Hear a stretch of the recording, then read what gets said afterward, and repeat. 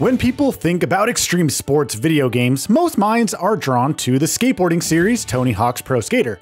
However, there's also been a wide range of excellent snowboarding games released over the years that let players descend the slopes in style. Whether it's visual and mechanical realism, or over the top arcade action that players want, the best snowboarding games of all time have it all, and let players descend freezing cold slopes at lightning speeds, along with pulling off crazy tricks from the comfort of their own homes. Hey there everyone, welcome to Game Rant, Geoffrey here. In today's video, I'll be highlighting 10 of the best snowboarding video games of all time. Let's dive in. Number 10, SSX On Tour. SSX On Tour is the first of many games from EA's SSX franchise. SSX On Tour's core gameplay is similar to SSX 3, though changes were made to other aspects of the franchise, such as the addition of customizable characters. While the gameplay is not far removed from the rest of the series, SSX on Tour's main selling point at the time of its release was its visual style, which set itself apart from its predecessors. Although it could be an acquired taste, the game's graphics still look pretty good today. Number 9. Shaun White Snowboarding Road Trip Shaun White Snowboarding was released in 2008 on a plethora of consoles, including PlayStation 3, Xbox 360, and PC. Like many games in the late 2000s, a Nintendo Wii Edition was also released but was completely reworked to accommodate the console's popular motion controls. The Wii version is titled Shaun White Snowboarding Road Trip and does an excellent job of implementing the Wii's balance board, which offers an immersive way to play the game. It is a fairly short experience that doesn't have too much replay value, however, Road Trip's unique accessory sets it apart from the crowd in a really positive way. Number 8. Steep Steep is the most recent release on this list, having hit stores in December 2016. New sports IPs have been rare in the last decade, as licensed franchises like FIFA and NBA 2K have a stranglehold on the sports genre. Consequently, the announcement of Steep was welcomed by the many sports fans who are desperate for new sports franchises. Steep differentiates itself from the other games with its wide range of extreme sports, as along with snowboarding, of course. There is also skiing, wingsuit flying, and paragliding to keep players busy. Fans of Ubisoft's game should also check out Riders Republic, which basically is a spiritual successor of sorts to Steep. Number 7. Amped 2 Amped 2 was developed by IndieBuilt and released exclusively on the OG Xbox in October 2003. This is actually also my personal favorite snowboarding game on this entire list. Well, this one and the number one spot, but more on that later. Amped 2's career mode has a similar level structure to the aforementioned Tony Hawk's Pro Skater series, with players having various objectives to complete in each of the levels. Along with high scores to aim for, players are also tasked with doing tricks for photographers and finding hidden snowman throughout the stages. The Amped series utilizes a unique control scheme that can take some getting used to, but it works well for games that prioritize tricks and flips. Number 6. SSX 2012 in February 2012, EA Sports delighted snowboarding fans by releasing a reboot of its classic series. Unlike previous games in the series, SSX 2012 implemented courses from real locations, such as Antarctica and the Himalayas, which gave the title a different feel from its predecessors.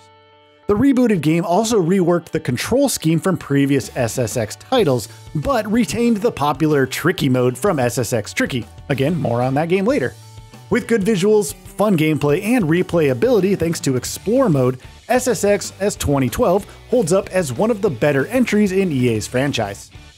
Number 5. SSX 2000 SSX from the year 2000 was the first entry in the iconic SSX series, and was released exclusively on the PlayStation 2. The game was published by EA Sports Big, which we all remember that, that was a fun time. A label used by EA throughout the 2000s which specialized in extreme sports games like FIFA Street and NBA Street. SSX 2000 was a huge hit with critics upon release, exemplified by its whopping 93 Metascore. However, the game hasn't aged particularly well, and later SSX games improved upon this original formula. Number 4. 1080 Snowboarding 1080 Snowboarding is the oldest game to make the cut, having been released in 1998. 3D video games were still a relatively new concept in the late 90s, but that didn't stop Nintendo from developing a game that is still to this day considered to be one of the best snowboarding titles of all time. 1080 snowboarding may not look like much by modern standards, but its gameplay is just as enjoyable as it was back in 1998.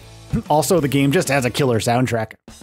Number 3. Alto's Adventure Alto's Adventure sticks out like a sore thumb on this list for several reasons, but in a good way.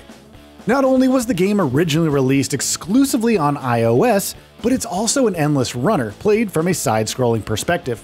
While the latter might not sound as impressive as a full 3D snowboarding experience, Alto's Adventure is arguably among the most visually gorgeous snowboarding games on the market.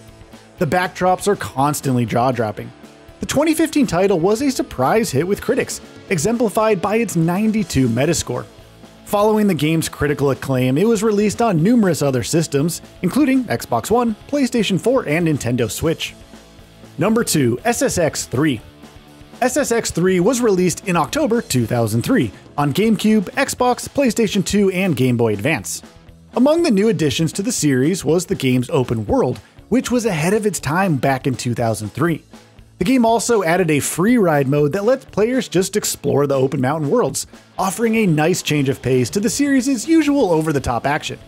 While not knocking everything out of the park, SSX 3 represented a leap forward for the series as a whole, and it is one of those games that holds a lot of nostalgia. Compared to the original SSX, the third entry is still very enjoyable to play in this day and age. Alright, and here we are, number one, which you probably guessed it already, it's SSX Tricky. SSX Tricky was released in 2001 on the same consoles as SSX 3. While the name may suggest that the game is a spin off to the SSX series, it was actually just the second entry in the franchise. The game's name is, of course, a reference to the Run DMC track, It's Tricky, which is heavily featured, as well as the game's tricks mechanic. Although SSX Tricky lacks the open world of SSX 3, it remains the series' best game to revisit today, thanks to its wonderfully well balanced gameplay and fun characters. Now, since I adore snowboarding games so much, and since they are often overlooked, I want to give two bonus shoutouts here, specifically for the indie snowboarding gem, Shredders, which places a big emphasis on a more grounded approach to the extreme sport along with a quirky story.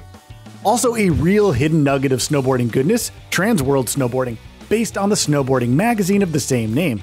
This one from the OG Xbox era was all about arcade snowboarding shenanigans set across a host of over the top locales. Plus, I mean, the music was just on point in this game, so that's great. And there we have it, everyone 10 plus, well, I guess 2 extra of the very best snowboarding games of all time that you should definitely play. Thank you very much for checking out this video from Game Rant. Have a truly wonderful and happy day. We'll see you in the next video. Bye bye.